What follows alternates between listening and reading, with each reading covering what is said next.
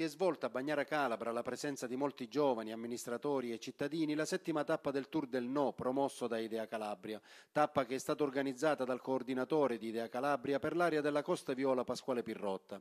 Tanti gli interventi per spiegare, hanno detto gli organizzatori, in maniera chiara e precisa quelli che sono gli aspetti drammatici di una riforma costituzionale che attraverso assurde manovre ha il solo scopo di strappare la sovranità al popolo italiano, impedendogli di fatto di eleggere i propri rappresentanti in Parlamento e che devia tutto il potere nelle mani di un solo soggetto.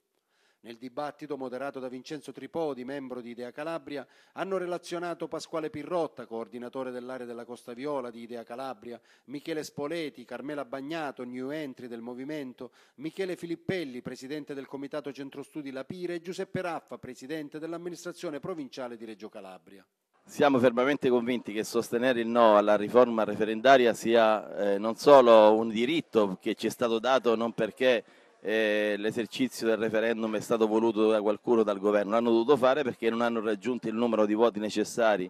alla, alla, Camera per poterlo approvare e quindi anche in questo caso superare la volontà popolare. Votare no è un dovere, Ecco, per questo dovere stiamo girando tutta la provincia perché oggi a Bagnara abbiamo sostenuto con forza i motivi del no perché riteniamo che c'è in gioco il futuro della democrazia, il futuro dei nostri giovani e soprattutto si pregiudicano due aspetti fondamentali. La sovranità eh, popolare, visto che ci stanno abituando ormai al cittadino di utilizzarlo come uno strumento da accantonare in un angolo e di non far eh, diciamo, eh,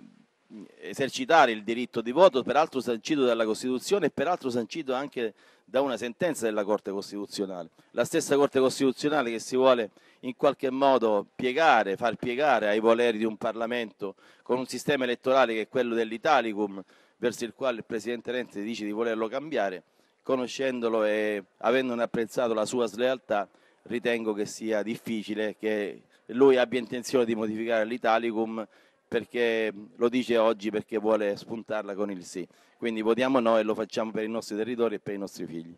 Oltre ad un breve saluto tramite videomessaggio da parte del coordinatore di Idea Calabria Pietro Borrello, sono stati numerosi gli interventi del pubblico in sala da parte di cittadini ed esponenti di associazioni e comitati vari che hanno inteso esprimere la loro motivazione al no al referendum.